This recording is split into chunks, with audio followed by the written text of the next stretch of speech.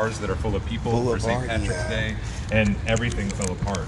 Um, and so I think it was almost a given that well, this isn't this isn't going to work. And then it just sold way more than anyone thought all summer long. Everybody's drinking at home. Thank you. Yes, sweetie. First, Pandemic. People drink four and a half percent beer all days in the morning. I don't blame them. Yeah. Um, so that that is a success for us, and we have a couple different like variety packs with that. There's a tropical variety pack out. So that's Exclusive VIP. So I can drink four and a half percent. on deck. Yeah. Don't be a stranger. Yo, you don't know me, homie. You don't, you don't know me, homie. You don't know me, homie. You don't, you don't know me, homie. Just like that, you're dismissed. Just like that, we keep the party lit. And you don't know me, baby. You don't, you don't know me, baby. You don't know me, baby. You don't, you don't know me, baby. Just like that. IV tattooed. Every last one of them. Wow, that's dope. Yeah, there was 40 something altogether. Listen, I'm not against this bet. I'm really betting on my. uh, Do I? Can I prepare for like a few weeks? So we're, No, we're I down can't. I to do can't do a these stretch. I gotta stretch. Give me like how about, how about six weeks? You Six need weeks. 15 minutes to stretch. No, no, no, no, no. We can make a thing out. We'll make some content. We'll podcast. 16 weeks. Six weeks. I'm down. I'll, I'll I'm do the negotiating. tattoo. This is One- the one art of the deal. worth of. Is that what You that right orange you weirdo said? I'll do the Right tattoo. can do Right now, There's a basketball not goal for a tattoo. right around here. For sure. Three weeks. Give me three weeks for a tattoo bet on the rim. Today, we, Monday, or either the bet's off. I, I'm doing the tattoo. is there a rim anywhere? Is there a rim anywhere? Are we looking for one right now? Let's go. So your great your great grandpa in the 1930s?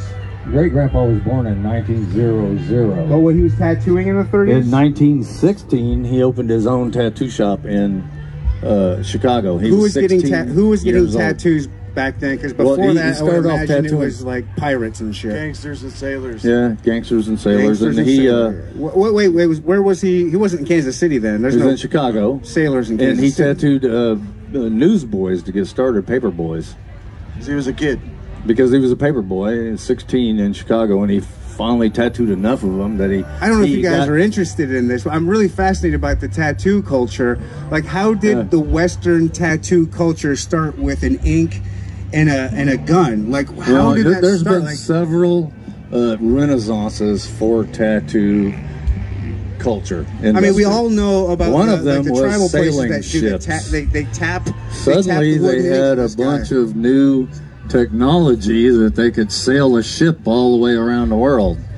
When they came up with that, then tattooing in the in Europe was. But as far as like Western culture, Europeans discovered it from sailing ships. They Okay. got Going to Asia. just like fucking bullshit out there. you don't think that'd be great I to be the guy? that- Tupac, Okay, what was it? but you don't get to put that in my mouth. I'm gonna put. I'm just joking around, man. It's yeah, not for yeah, real. it's not funny, man. It's fucking real shit. Nobody thinks it's real. They see the smile on my Like this face. is they fucking hear it. real. I'm real. I'm real too. I came up be here to be real. Well, that's what I'm doing. So too. yeah, I can tattooed crack a Tupac, few but I didn't do that. All that shit you're talking about. I didn't do that. I did what I did. Well, what did you do on him? I did that 50 niggas in the middle of his chest. Wow. Shit. Damn. In Kansas City? No, I did it in Hollywood Damn. on Sunset. I was working across the street from the Viper Room, right next door to the uh, Rain or Whiskey, actually. Damn. Back in them days, it was fun because I was working in Hollywood. I go up the street to the, uh, just a few doors up to the uh, Rainbow Room and hang out with Lemmy. And he was fucking hilarious. And I didn't know anything about Motorhead. And I didn't know that he owned the restaurant. I just thought he was a drunk that hung out there that was just irresistible, fun, funny guy that would always come and sit at your table with a big glass of whiskey. And I never understood a word that he said, but he was a fucking cool guy and he considered me his friend because it was right there. You know, I ate lunch there every day. So yeah, I used to hang out with Lemmy. Tattooed. Uh, Reminds me of, have you guys seen the meme where um, people are dancing, professional dancers, but they cut out the music in the back? So all you hear is the foot, the feet squeaking. That's what it reminds me of. Oh, I've never seen that. Is it? Does it make it look better or worse? Word. worse? It's awkward. It's awkward. You just hear that Okay. scoot, scoot, scoot, and people are like making moves and stuff. I've seen that with. Um, Yeah, yeah, yeah. yeah, yeah, a college basketball game. I've seen that with uh, The Big Bang Theory. Did you guys ever see that horrible show? or any sitcom. Like any sitcom, there's like they'll put on YouTube. They'll take the laugh track out of it, and it is just like some of the most awkward. Uh, and not even dry, but it's just like they make these outlandish jokes. Yeah, so that's gonna be silent disco tonight, folks. Come out. It's- This like I've been drinking. Do you remember your first Boulevard and how you got how you found no it? possible way I could. Really? no, like not at all. I mean, there's so many things, a lot of stuff. You know, they're good. They're good. They're I like amazing. the pale ale. That's my go-to. The pale ale's your go-to. Wes, are you a Boulevard uh, beer drinker, or do you like the harder stuff, or just yeah, the uh, I do like? Boulevard beer, and my favorite Boulevard beer story is uh, I used to work in Hawaii in the wintertime. This dude's been all around the world. Yeah, dude. well, I work in Hawaii in the wintertime. It seemed like a good idea. In fact, I, when I go over to Hawaii, I, I get this weird feeling. I, I'm over there to work the whole winter, and when I got to the airport, this weird feeling. It was unfamiliar. But after about the third year, I went over there, it started to be more and more familiar. This feeling that I would get, and uh, I felt smart. Never felt like that before. Yeah, working in Hawaii. So I worked in the winter. And the coolest thing about uh, Boulevard Beer, man, you walk in the liquor store in Waikiki and they got Boulevard Beer, man. It's like, that's home right there. Right. There's a, you want to see blues, it's hometown beer in your Hawaii liquor store or calling your girlfriend on the phone in Kansas City and hearing a goddamn train whistle. Damn. There you go. DJ Ness, you got a Boulevard uh, story? So this is my first time trying Boulevard Oh, this is your first? yeah. Oh, yeah, you got the my first time. Paloma.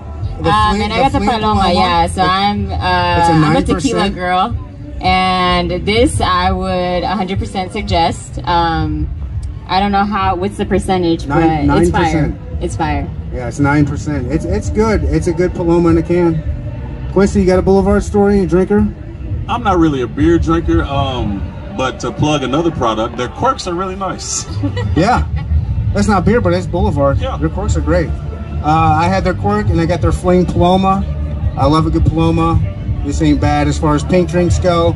I'd give it a six point, eh, seven point one. Seven point one on the uh, pink drink scale. Neandertalk podcast, everybody. This was it. Bye. Thank you. Thank you. Thank you. the Sassy. Not enough eyes on me. Come out next month. Yeah, yeah.